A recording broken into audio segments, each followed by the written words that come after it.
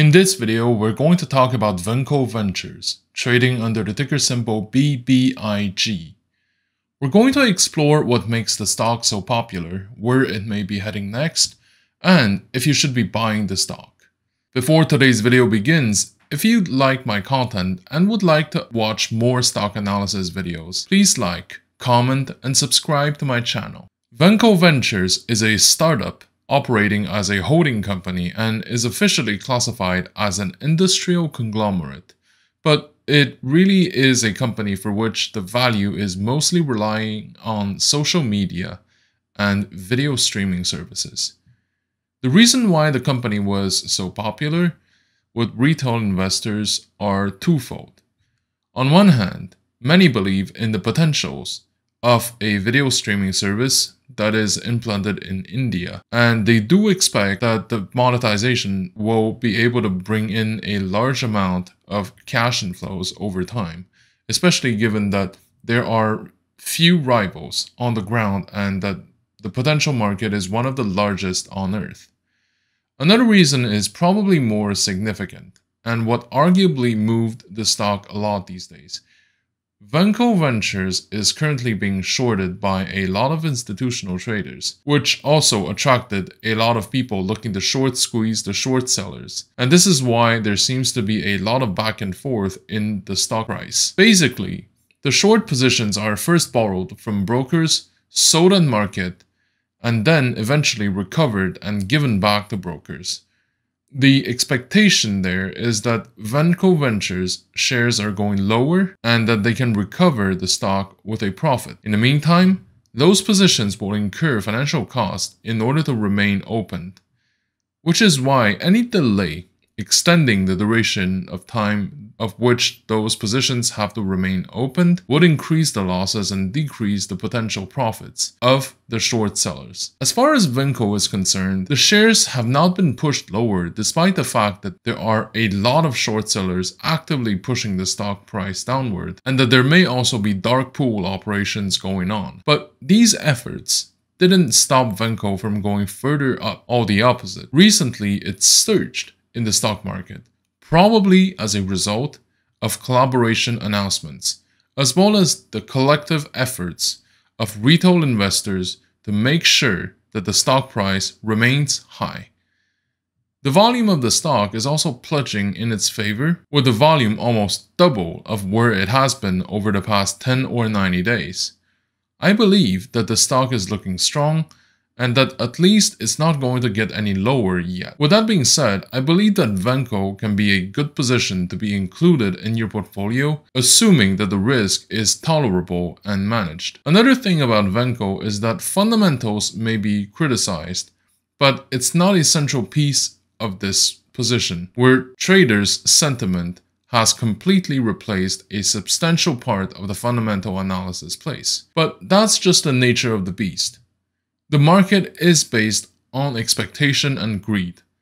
And it has always been true, but it's especially true here. My recommendation is to buy the stock, but to keep most of your allocation for later, with the assumption that its share price will pull back a little bit after the initial surge. The stock may not be back to new highs just yet, but the momentum is definitely there.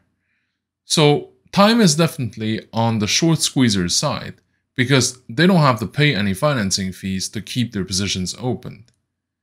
Looking at the current environment, I think that we have to be careful with having exposures in the equity market.